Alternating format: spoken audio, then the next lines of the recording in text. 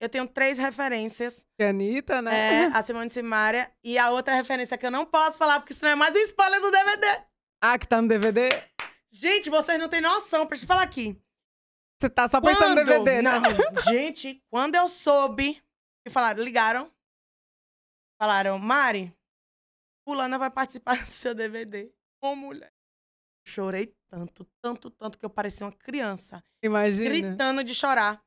E essa pessoa é, assim, é incrível, assim, na minha vida. É, é tudo pra mim. Quando eu era pequena, eu te falei que eu cantava em banda de forró. Aham. Então, eu cresci ouvindo as músicas dela. No, eu ouvia ela no fone pra tentar alcançar o tom que ela alcançava. Pra cantar do jeito que ela cantava. Então, ela é minha inspiração na música e no canto. Essa pessoa que não pode falar. Você quer a Joelma? Não sei.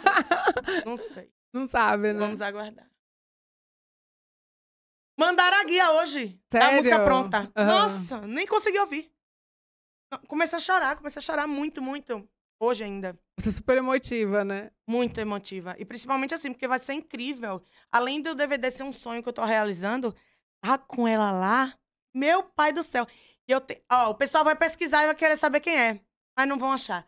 Eu tenho uma foto, eu pequena, do lado dela. Aham. Eu subi no palco dela pra fazer uma participação. Eu pequena. E hoje ela tá no meu DVD. A produção aí. aí tá preocupada. Aí. Pois é. É muito louco isso, né? A gente muito é fã louco. da pessoa, né? E hoje essa oportunidade de trabalhar junto, né? Fazer aconteceu, alguma coisa. Aconteceu isso com o Xande. Uhum. Eu mostrei para ele uma foto com ele também. Eu falei, você lembra desse dia?